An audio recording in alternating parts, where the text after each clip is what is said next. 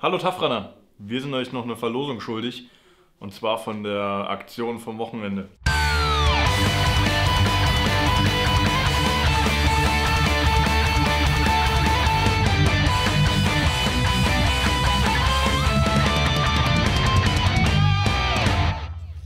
Wir haben alle Namen von den Leuten, die uns bewertet haben, aufgeschrieben und hier in diesen Helm gepackt.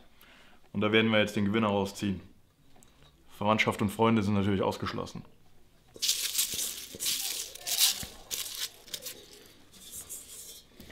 Eine Wildcard für den Tafran 2014 gewinnt.